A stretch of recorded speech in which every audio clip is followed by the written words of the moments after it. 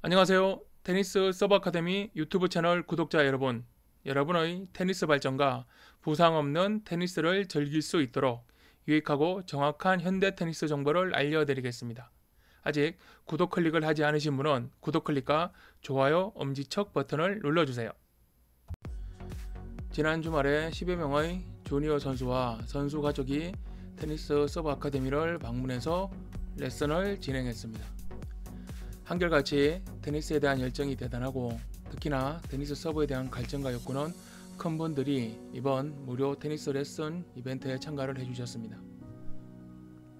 부모님과 주니어 선수는 물론 선수의 다른 형제도 함께 온 경우도 있었습니다. 형제, 자매, 오누이가 같이 테니스를 하는 선수 가족이 대한민국 전체에 많다고 하더군요. 형제가 같이 테니스를 하고 부모님도 같이 테니스를 하는 테니스 가족도 있었습니다. 어떤 주니어 선수의 부모님은 본인들은 잘 모른, 모르고 했다고 말씀을 하셨지만 주니어 선수의 성장과 발전에 이미 큰 도움이 되는 운동을 시키고 있었거나 나름의 준비를 해오고 있었던 분도 계셨고 대한민국 어디에서도 선수의 진로에 대한 속 시원한 답변을 못 들었는데 그 소원을 풀었다는 분도 계셨습니다. 또한 정말 체구가 작은데도 불구하고 엄청난 피지컬을 자랑하는 선수들도 여러 있었습니다. 지금 이 이미지의 저 어린 선수의 몸과 같은 설마 저런 몸일 거라는 상상이 되십니까? 이런 부분은 남자 주니어 선수에만 해당하지 않고 여자 주니어 선수에게도 해당이 됩니다. 여자 주니어 선수의 선수 부모님이 어릴 때부터 시킨 다른 운동이 있다고 말씀을 해주셨는데 선수의 동작, 자질, 피지컬 파악을 위해서 스윙을 해보게 시키는 부분이 있습니다. 레슨에서. 그때 정말 놀라운 빠른 스윙이 나와서 깜짝 놀랐고요. 제가 부모님께 물어보니 어떤 어떤 종목을 몇 년 했냐고 물어보고 이 선수의 배에 보면 11자 복근 있지 않나요? 물어보니까 어머니가 깜짝 놀랍니다. 어떻게 하시냐고. 지금 요즘 날씨가 추워졌기 때문에 여름에 티 한 장 입고 하는 그 운동이 움직임이 아니라 선수가 옷을 두 겹 세 겹 입고 운동을 하니까 제가 몸매가 보이지가 않습니다. 그런데 선수의 스윙만 보면은 그 다음에 어떤 운동을 했는지 한번 물어보고 그 얘기를 하니까 어머니가 배를 들어본 것도 아닌데 어떻게 하냐고 깜짝 놀라시더라고요. 이런 부분들이 제 전문성이 드러나는 부분들입니다.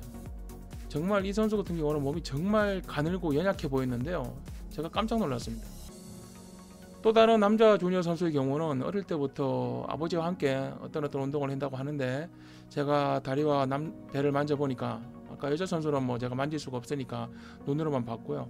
남자 선수 같은 경우는 뭐 부모님 앞에서 배, 배에 힘주라 그러고 다리도 만져보고 이러니까 근육이 장난이 아니었습니다. 정말 그 위통 벗겨보면은 지금 이 이미지에 이런 선수처럼 그런 몸 나올 것 같더라고요. 이런 부모님들은 어떤 이 트레이닝이나 종목이 테니스에 도움이 된다고 생각을 하고 한 행동은 아니지만 이미 테니스 선수를 만드는데 선견지명이 있는 행동을 한 게 됩니다. 또 이 남자 선수의 형은 와서 물어보더라고요. 어떻게 몸만 만져보고 이게 테니스에 좋거나 뭐 어떤 그건지 어떻게 하시나요? 물어보더라고요. 테니스 선수에게 맞는 피지컬 훈련 방법이 따로 있는데 우리나라에서는 테니스 선수들을 역도 선수로 만들어 놓고 테니스를 하라고 시키고 있는 형국입니다. 아직도 힘과 파워가 테니스에서 가장 중요한 요소인 줄 아는 이 부모님들은 그런 것은 잘 몰랐지만 지금에서 보면 선견지명이라는 말이 맞을 정도로 좋은 트레이닝을 이미 하고 있었습니다. 이미 스트링 머신과 feeding용 볼 머신을 갖추고 테니스 훈련을 하고 개인적으로 레슨을 시키고는 계신 레슨을 시키고 있는 분들도 계셨고요. 서울 경기는 물론 남쪽 지방에서 온 가족이 몇 시간을 운전해서 찾아온 선수 가족도 있었습니다.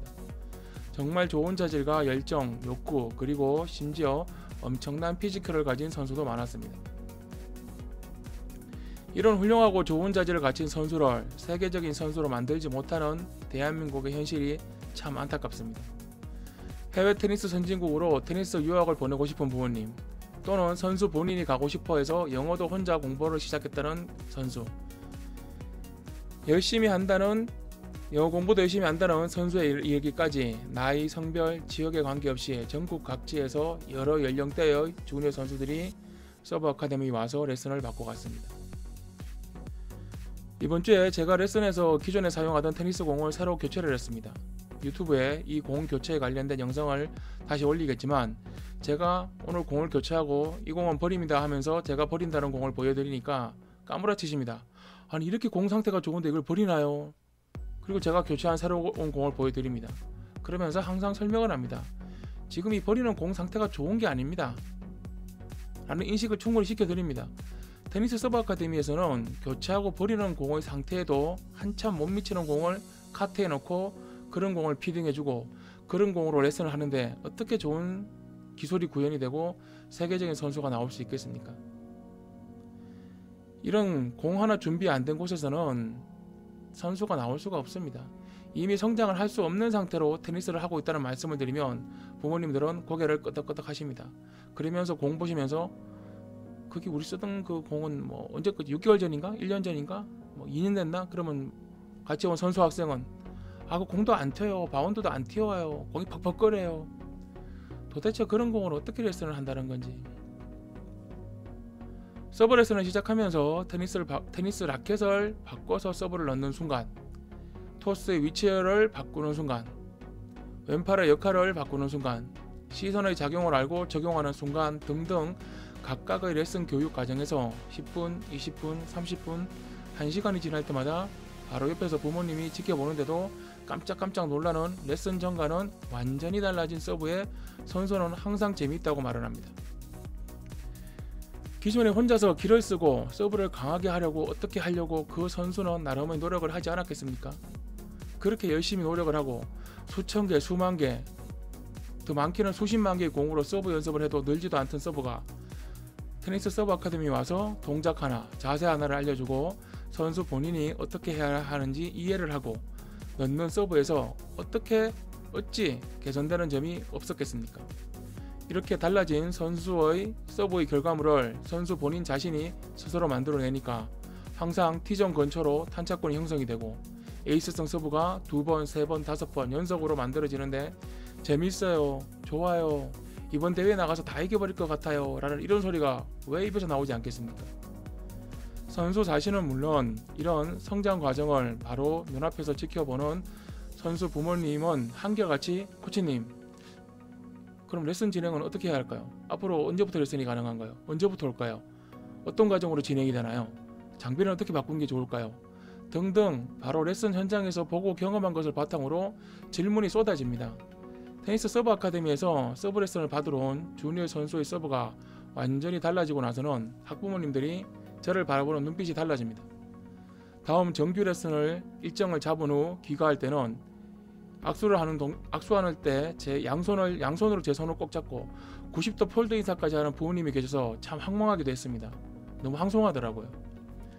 또한 다음 주에 진행이 되는 서브 속도 두 배 만들기 이론 강의에 직접 참석을 해서 현대 테니스에 대한 바른 이해와 지식을 갖추는 것이 주니어 선수의 발전과 바른 방향으로 성장할 수 있다는 계기가 된다는 말씀을 드리니 거의 대다수의 부모님들이 가족과 함께 참가하시겠다는 의사를 밝혀주셨습니다.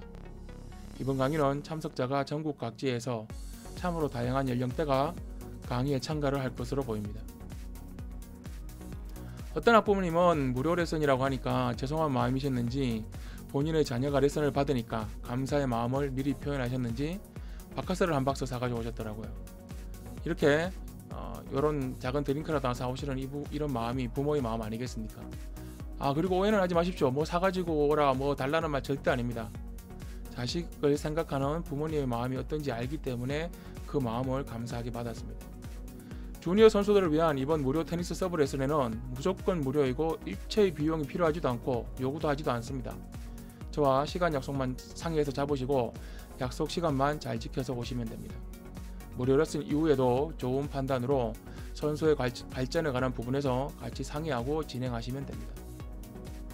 지난 토요일, 일요일 주말 동안 여러 명의 주니어 선수들에게 올바른 현대 테니스 서브를 지도하고 평소보다 많은 시간 동안 훨씬 더 많은 인원에게 서브 레슨을 진행하고 학부모님들과 여러 이야기를 나누느라 다리도 붓고 목도 부었지만 서브 아카데미의 전문성과 진가를 알아봐 주시고 서브 지도를 받은 선수들이 발전하는 모습을 보는 것은 정말로 즐겁고 기쁘고 신선하고 또한 안타깝기까지도 했습니다. 대한민국 초등, 중등, 고등학교 주니어 선수를 둔 학부모님들께서는 자녀의 서브가 개선이 필요하다고 생각을 하시면 테니스 서브 아카데미의 이번 프로그램 참가를 놓치지 마세요. 벌써 이미 무료 서브 레슨을 진행한 분들의 정규 과정 참가가 이어지면 이번 무료 이벤트가 조기에 종료될 수도 있으니 서둘러 주세요. 지금도 주말 예약은 다 차서 무료 레슨을 진행하시려면 주중 평일 저녁 타임이 아니면 무료 서브 레슨 진행 타임을 잡기가 어려워지고 있습니다. 테니스 서브 아카데미에서 여러분의 주니어 선수 자녀와 함께 뵙기를 기대하겠습니다. 감사합니다. 테니스 서브가 발전하는 서브 비밀 노하우 무료 소책자를 받고 싶으신 분은 영상 아래의 상세 설명에 있는 무료 소책자 받기를 클릭해 주세요. 테니스 서브 아카데미의 다른 영상은 좌측과 우측의 영상을 클릭해서 바로 볼 수 있습니다. 오늘 영상이 도움이 되셨다면 오른쪽 아래의 구독 버튼과 영상 아래에 있는 좋아요 엄지척 버튼을 클릭해 주세요. 격려와 응원의 좋은 댓글을 많이 남겨주세요. 좋은 영상으로 보답하겠습니다. 감사합니다.